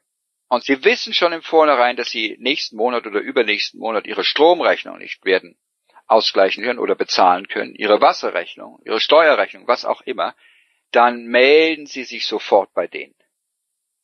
Okay? Sagen, teilen Sie ihnen das mit. Sie müssen da noch nicht einmal gleich eine Heilung vorschlagen, sondern Sie teilen einfach mit, dass Sie an einer, an verschiedenen Möglichkeiten arbeiten, um einen Rechteverlust der anderen Partei durch diese Verzögerung, würde ich sagen, jetzt nicht Verzug, sondern durch diese Verzögerung möglicherweise, die entstehen möge, zu verringern. Und dann wissen die schon, aha, das ist jemand, der macht sich Gedanken um unsere Rechte hier. Und jetzt kann man von Firmen halten, was man will, man kann denken, was man will darüber. Leute, Vertrag ist Vertrag. Okay, es spielt keine Rolle, wer den abgeschlossen hat, ob das Christ, Jude oder Moslem war. Vertrag ist Vertrag. Und man ist verpflichtet unter einem Vertrag, die Rechte, die man dem anderen zugesichert hat, unter diesem Vertrag, so gut es geht zu wahren. Das heißt, man muss die wahren. Und es spielt dabei keine Rolle, ob die andere Partei eine milliardenschwere Firma ist, die das alles eh nicht kratzt. Denn ich habe nicht das Recht, jetzt äh, schludrig zu sein, einfach nur aufgrund der Tatsache, weil die andere Seite ein paar Milliarden mehr hat als ich. Okay, das hat damit gar nichts zu tun. So, und dazu dient administrativer Prozess und der ist im privaten wie im öffentlichen wirklich immer gleich, nur im privaten machen wir das in Form von Erklärungen unter Eid. Und das bitte, das darf man nicht unterschätzen, da darf man nicht von abweichen, denn tut man das nicht, ist es nichts weiter auch wieder nur als ein Stück Papier, was mit keiner Versicherung wirklich, mit keinem, mit keiner Haftung wirklich untermauert ist. Ähm, Erklärungen unter Eid haben auch in Deutschland in einigen Fällen und in immer mehr Fällen, muss ich sagen, wirklich Erstaunliches bewirkt. Verfahren eingestellt und so weiter die wurden halt auch richtig eingebracht. Also einfach da geschickt sein und da jetzt nicht dran denken, dass das alles übermäßig kompliziert ist, wie zum Beispiel, ja, was schreibe ich denn in der Erklärung unter Eid? Na, was schreiben Sie? Wenn Sie von Ihren Ferien erzählen, ja, und dann waren wir am zweiten Tag, haben wir dann einen Rundgang gemacht, da haben wir dann ein Kloster gesehen, ein altes Kloster aus dem 14. Jahrhundert. Die erzählen da ganz normal den Ablauf. Und nichts weiter ist es in der Erklärung unter Eid. Natürlich erzählen sie da nicht von ihren Ferien, sondern sie stellen da die kommerziellen Gegebenheiten und Abläufe dar. Was man immer vermeiden muss, ist, dass man sich erklärt zu sehr. Okay, dass man das versucht recht zu fertigen, was man tut. Man stellt nur dar, was man getan hat. Jeder weiß im Kommerz, dass wenn, wenn er eine Annahme bekommt und er verrechnet die nicht, dann ist das nicht rechtens. Das wissen die. Ja, denn sonst würden sie ihnen zurückschicken und sagen, tut mir leid, das können wir nicht annehmen. Das ist gegen öffentliche Geldpolitik. Das würden die sofort zurückschicken. Wir wissen, die schicken Annahmen zurück, wenn Defekte drauf sind. Aber ansonsten behalten sie sie und sie verrechnen es nicht. Und wie wir damit umgehen, darüber sprechen wir dann in der Zukunft noch. So, jetzt, wie macht man überhaupt private Korrespondenz? Wie hält man diese Dinge auf der privaten Seite? Nun, indem man erst einmal alle Merkmale vermeidet, die darauf hinweisen, dass es sich um eine öffentliche Angelegenheit handelt, wie zum Beispiel Adressen, Postleitzahlen, ja, und bestimmte andere Dinge, wo man sofort vermuten kann, aha, derjenige befindet sich in der Fiktion. Vielleicht macht es jetzt Sinn, wenn Sie sehen, dass der Kursleiter darauf besteht, dass E-Mails keine Adressen, Telefonnummern und so weiter drin haben. Okay, ist, äh, warum nicht? Weil es nicht notwendig ist. Und wenn man unter jede E-Mail seine Adresse setzt, dann sagt man, man ist geschäftlich tätig. Denn nur Firmen haben die Pflicht, immer ihre, ihr Hauptquartier, also ihre Geschäftsadresse anzugehen. Nur Firmen haben diese Pflicht. Okay, mit anderen Worten, sie übernehmen ständig Haftbarkeit in der Öffentlichkeit für all ihre Korrespondenz, die sie auch im E-Mail-Verkehr schicken. Und das müssen sie nicht. Das müssen sie nicht. Haftbarkeit basiert auf Verträgen, die nachweisbar sind, oder aber auf Freiwilligkeit. Und warum gehen Sie freiwillig so eine Haftung ständig ein? Ja, diese Dinge machen so einen Eindruck. Ja, wenn die später sehen im Gericht, die schauen da an, aha, der hat die E-Mail hier an den und den Versorger geschrieben und die sehen unten, dass da ihre gesamte Adresse drauf ist, dann wissen die sofort, naja, okay, ja, er ist im Kommerz tätig. Adressen sind Beweis für kommerzielle Tätigkeit in der Öffentlichkeit. Auch der volle Name, Vorname und Nachname. Es handelt sich hier nicht um Rufname oder Taufname und Familienname, sondern um Vorname und Nachname.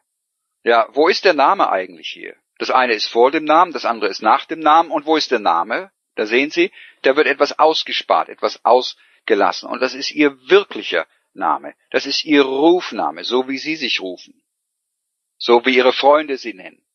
Das eine ist vor dem Namen und das andere ist nach dem Namen. Aber der wirkliche Name, der ist nie drauf. Und somit sind sie in der Fiktion oder eingebettet in die sehr fürsorglichen Hände, in den fürsorglichen Schoß der Öffentlichkeit, wenn ich das mal etwas ironisch formuliere. Also man verwendet nicht diese Dinge wie Adressen, aber natürlich muss der andere die Möglichkeit haben, die Dinge irgendwo hinzuschicken, wenn er antwortet. Ja. Jetzt gibt es eine Möglichkeit, dass man so eine Erklärung unter Eid ganz privat, ohne große Adresse macht, ohne Anschrift überhaupt, und dann einen Notar beauftragt, diese dem anderen zuzustellen und der andere auch an diesen antworten muss. Dann ist der Notar nämlich ein Zeuge, so habe ich das immer gemacht in Großbritannien. Der Notar war mein Service Processor. Das heißt, der hat das dann auch geschickt, der war Zeuge, dass er das geschickt hat und in der Erklärung unter Eid stand drin, dass die andere Partei dies an mich schicken muss, den Mann natürlich, ja, zu Händen von, und dann kam der, der Rufname und der Familienname des Notars, ja, tätig als Notary Public, tätig als Notar und äh, an der und der Adresse, Geschäftsadresse. Da war der Notar das Gateway zwischen privat und öffentlich. Und das ist, was der Notar ist. Der Notar ist ein Gateway zwischen privat und öffentlich. Das heißt, er hat die Fähigkeit, private Erklärungen, Willenserklärungen und so weiter mit öffentlicher Glaubwürdigkeit zu versehen. Ist eine wunderbare Sache und an einer guten Beziehung mit einem Notar muss man auch arbeiten. Der muss auch ein Interesse daran haben, an dem, was man tut. Und da hatte ich mehr als einmal wirklich sehr viel Glück. Und dann mit einem habe ich wirklich jahrelang zusammengearbeitet. Und der war selbstständig und den hat das alles sehr interessiert. Der war sehr frustriert auch mit den ganzen statischen Prozessen in der Öffentlichkeit. Also es ist es wert, wenn man sich einen Notar zum Freund macht. So. Jetzt wenn man aber jetzt nicht in dieser glücklichen Position ist, dass man einen Notar verwenden kann, dann macht man bestimmte Schreibweisen auf seine privaten Dokumente, die zeigen, dass es keine fiktiven Dokumente sind, die auf fiktiven öffentlichen Recht und Prozessen beruhen, ja, oder diese geradezu beziehen. Und erst einmal, wenn es um Namen geht, ja, da kann man dann immer mal nur schreiben Hans und dann vielleicht ein Doppelpunkt. Mustermann. Hans, der ist definiert durch die Familie Mustermann. Der Doppelpunkt heißt definiert als oder durch. Ja, das ist Mathematik wirklich. Das ist äh, quanternische Schreibweise eigentlich. Oder er schreibt Hans aus der Familie Mustermann. Ja, jetzt muss man natürlich dann im Text klarstellen, wer das überhaupt ist und wieso er überhaupt äh, sich in die Belange einer Person da einmischt. Das muss man dann halt in den Erklärungen unter Eid klarstellen mit einem einzigen Satz. Ist der einzig beitragende Begünstigte der Person. Hans Mustermann und dann in Klammern die gesamte Adresse, so dass die einen Bezugspunkt haben zur Öffentlichkeit. Also man muss immer Bezüge herstellen. Jedes Dokument muss das Private und das Öffentliche reflektieren. Denn was man damit tut, ist mit so einer Erklärung unter Eid ist, man gleicht auch das öffentliche Protokoll an das private Protokoll an. Und das Öffentliche muss dem Privaten immer folgen. Und das tut man damit. Man muss halt aufmerksam sein. Jetzt übermäßig vorsichtig nicht, aber aufmerksam sein, dass man da keine Formfehler macht. Und dann äh, lebt dieser Hans aus der Familie Mustermann nicht, ja, dann auf einmal hier äh, Friedrichstraße 20, ja, sondern man kann sagen, sowas wie der Art Care of, also C-O, Care of, Friedrichstraße 22. Das heißt zu Händen oder in die, in die Fürsorge von Friedrichstraße 22. Okay, das Gateway. Das Gateway. Hier, das ist das Gateway zum Privaten. Das ist die Friedrichstraße 22. Und dann zu Hamburg, zu Frankfurt. Ja, zu, in Richtung. Denn niemand weiß genau, wo das ist, denn alle Grenzen auch Stadtgrenzen sind rein fiktiver Natur. Denken Sie immer an den Adler, der mühelos über diese Dinge einfach hinwegfliegt, sogar über Ländergrenzen. Ja, ein Chinese wird kein Adler runterschießen, bloß weil er von über die chinesische Grenze nach Russland fliegt. Okay, der Adler sieht die Grenzen überhaupt nicht. Der weiß gar nicht, dass die da sind. Das heißt, irgendwann hört er mal, ja, äh, Richtung China. Ah, wo ist das genau? Ja, einfach hier mal Richtung Osten, immer weiter. Okay, also es ist eine Vermutung. Zu Hamburg. Und dann kann man, wenn man das will, in eckigen Klammern oder in Kästen die Postleitzahl reinschreiben. Aber das würde ich nicht tun. Eh auf den Dokumenten selber. Das mache ich auf dem Briefumschlag. Weil sonst hier der Postbedienstete sich ermächtigt sieht, meinen kommerziellen Postvertrag in der Weise abzuändern, dass er das Ganze auf die öffentliche Seite in militärische Gerichtsbarkeit ziehen will. Also da mache ich dann halt die Postleitzahl in einen Kasten rein, okay? Aber auf den Dokumenten selber mache ich das nicht. Okay, und dann ist das zu Hamburg, zu Frankfurt, zu München, was weiß ich nicht was, zu Berlin und aha, außerhalb der Bundesrepublik Deutschland und außerhalb des Landes was weiß ich was, Niedersachsen, Bayern, Berlin. Okay? Denn sie sind außerhalb des Landes oder dieser Fiktion wirklich. Und so ist der andere das auch im Privaten. Denn niemand kann dort sein. Der ist außerhalb. Ja? Und so schreibt man natürlich den anderen dann auch an, die andere Partei. Ja? Hier, Erklärungsschuldner oder an Herrn Franz Schuster. Irgendwelche Ähnlichkeiten mit, mit äh, wirklichen Namen ist jetzt hier rein zufälliger Natur, ja, aber an Franz Schuster. Tätig als die Deutsche Commerzbank. Der ist tätig als die Deutsche Commerzbank. Der macht Kommerz. Er ist also tätig als die Deutsche Commerzbank. Und dann kann man dazu setzen. In der Position des Chief Financial Officers oder des, des Chefkämmerers oder Chefbuchhalters.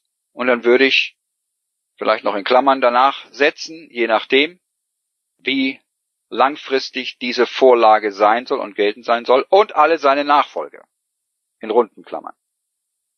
Ja, und dann Care of, also in die Fürsorge von Commerzbank, was weiß ich nicht was, Aachener Straße 20. Und dann zu Hamburg, München, Berlin und so weiter. Ja, so dass er das dort an seinem Geschäftsplatz kriegt. Das ist sein Gateway in dem Moment. Denn niemand kann das Private immer aufgeben, denn in jeder Position, die ein Mann oder ein Weib bekleiden, sind sie letztendlich immer nur natürlichem Recht gegenüber untergeordnet. Ganz gleich, welche Position sie innehaben, das natürliche Recht befreit niemanden von den normalen Verbindlichkeiten, von den normalen substanziellen Rechten und Pflichten, die einer hat. Und so kann auch niemals ein administrativer Prozess oder positives Recht in der Öffentlichkeit den Mord an einem anderen lizenzieren oder unter Lizenz stellen. Es ist immer ein Verbrechen, wenn jemand ermordet wird, vorsätzlich umgebracht wird. Das ist ein Verbrechen. Und die Männer und Weiber, die das im Deckmantel einer Fiktion tun, sind trotzdem letztendlich immer verantwortlich dafür. So, und dann muss man sich überlegen auch, wo man jetzt diese verschiedenen Parteien platziert. Ja, wenn ich glaube, dass ich bestimmte Rechte habe oder in einer Transaktion der Gläubiger bin, nun dann schreibe ich doch meinen, meine Details oben rechts hin und die des anderen dann bisschen weiter unten links. Denn rechts, das ist die Gläubigerseite auf einem Papier. Links, das ist die Schuldnerseite. Ja? Und dann werde ich das Ganze so gestalten, dass, wenn ich wirklich Gläubiger bin, ich unten rechts signiere oder aber wenigstens unten in der Mitte, um zu zeigen, ich bin jetzt erst einmal neutral. Das, das kommt drauf an, da muss man sich Gedanken drüber machen. Aber bin ich Gläubiger, unterzeichne ich immer unten rechts und niemals unten links. Das ist so eine Unart geworden, auch in Deutschland, dass die Menschen jetzt immer unten links unterzeichnen in der Öffentlichkeit. Ja, als ich zur Schule ging und wir gelernt haben, wie man Briefe schreibt, da haben wir immer unten rechts. Ich weiß das noch von meiner Mutter, die hat immer nur unten rechts ihren Namen hingeschrieben. Oder in die Mitte. Aber nicht unten links. Das ist eine Unart. Im Privaten, im Öffentlichen äh, bedeutet es, dass es sich um einen Schuldner handelt. Ja, und dann überlege ich mir, ob bestimmte Dinge ich auf die Rückseite tue einer solchen Erklärung unter Eid. Kann man sich Gedanken drüber machen. Vielleicht können wir da dann noch drüber sprechen innerhalb des Kurses, ja, wie zum Beispiel eine Briefmarke oder dass man das durchstreicht, damit niemand etwas hinzufügt oder und so weiter. Eine Apostille vielleicht. Wir kommen noch darauf äh, über Apostilen, wenn es um ganz bestimmte Formen von Erklärungen unter Eid geht. Dann vermeidet man in privaten Dokumenten immer Ziffern. Okay? Man vermeidet Ziffern. Man kann es als Erläuterung in runden Klammern dazu schreiben, wenn das nicht, sich nicht vermeiden lässt, aber von, man vermeidet Ziffern, das heißt, Zahlen werden immer ausgeschrieben. Sie kennen das von Checks, das ist immer so, auch im Kommerz, wenn auf einem Scheck der Betrag in Worten ausgeschrieben von dem Betrag, der in Ziffern geschrieben wurde, abweicht, dann hat immer der Betrag, der in Worten geschrieben wurde, Vorrang. Warum? Nun, weil ein Wort, eine Zahl ausgeschrieben, es da eine sehr viel geringere Wahrscheinlichkeit gibt, dass man ja die Zahl 4, dass man V-I-E-R aus versehentlich falsch schreibt. Anstatt fünf. Okay, die Wahrscheinlichkeit ist geringer. Und das heißt, man gibt mehr Substanz rein, wenn man diese Zahlen ausschreibt. Das heißt, man vermeidet Ziffern. Und wenn man jetzt Dokumente über Einschreiben zum Beispiel verschickt, ja, dann äh, schickt man das via. Und das muss auf dem Dokument mit drauf sein. Via. Also hindurch und dann DE und dann die Einschreibenummer und dann hinten die Prüfnummer oder die, der Prüfbuchstabe, ja. Via. Und da schreibt man oben rechts hin vielleicht unter das Datum oder ganz, ganz oben rechts hin, ja. Wir. Das heißt, da ist das hindurchgegangen. Das ist die Nummer des Vertrages in der Öffentlichkeit, über welchen dieses private Dokument geliefert wurde. So. Und dann, wie unterzeichnet man eine Erklärung unter Eid? Naja, man kann das, jetzt wenn man beim Notar ist, dann will er wahrscheinlich, äh, dass man das wirklich signiert mit der Unterschrift, aber letztendlich ist ihm das äh, egal, er will bezeugen, und das ist ja das, was wir wollen, dass wir vor ihm das signiert haben und dass wir unser Siegel angebracht haben. Und wenn das ein Daumenabdruck ist, dann ist das gut. Jetzt können wir da natürlich noch eine Signatur hinzusetzen, so dass die andere Partei sehen kann, aha, okay, ja, die kenne ich. Ich kenne die Signatur. Das ist jetzt zwar hier in einer anderen Kapazität, aber ja, das kommt von jemandem, der hier scheinbar Rechte oder Interessen an dieser Angelegenheit hat. Ja, das ist also ganz entscheidend. Und diese Passage hier, die sollten Sie sich immer und immer wieder anhören und jetzt da nichts hineininterpretieren, was ich nicht gesagt habe, aber auch nichts davon wegnehmen, sondern ganz einfach die Dinge so nehmen, wie ich sie gesagt habe. Und es wäre gut, wenn bis zum nächsten Mal äh, jemand von Ihnen zum Beispiel entweder einen fiktiven administrativen Prozess mal macht, vor allen Dingen interessiert mich als erstes die Vorlage, also die Erklärung unter Eid, kann rein fiktiver Natur sein. Erst einmal vielleicht nur die Form, brauchen gar nicht mal irgendwelche Punkte drin sein, sondern die Form mit den Anschriften und Unterschriften und so weiter, ja. Und das dann hochlädt in den Raum, das sehen Sie hier, da klicken Sie auf Ihren Raumnamen, also jetzt hier nicht auf die Kursablage, sondern Sie machen einen Rechtsklick auf den Raumnamen dann Dateibrowser öffnen und da sehen Sie dann ein Unterverzeichnis für den Kursleiter. Und da unten drunter ist ein Unterverzeichnis 02 administrativer Prozess und da können Sie mir Ihre Vorschläge ähm, reinladen, dass ich mir die angucken kann und dann können wir da das nächste Mal die alle angucken und darüber sprechen, denn die administrativen Prozesse, die sind das Alpha und das Omega im Kommerz und die müssen einfach sitzen. Da werden wir jetzt einige Zeit mit drauf verwenden. Okay, und dann können wir uns auch bezüglich der Annahme und den damit verbundenen administrativen Prozessen befassen. Also, dass wir das das nächste Mal machen und dann das nächste Mal über diese administrative Prozesse sprechen und sie uns alle angucken. Sie können auch gerne einen Prozess nehmen, den Sie schon gemacht haben mit einer bestimmten Einheit, ja, mit einer Firma zum Beispiel, aber der muss dann absolut bereinigt sein. Das heißt, da alles muss anders sein. Die Namen müssen ersetzt werden. Das Datum muss ersetzt werden durch ein fiktives Datum. Natürlich auch Anschriften, Adressen, ganz gleich. Bezugsnummern, Kontonummern, Einschreibenummern. Okay, es darf nicht so sein, wie es ursprünglich mal war.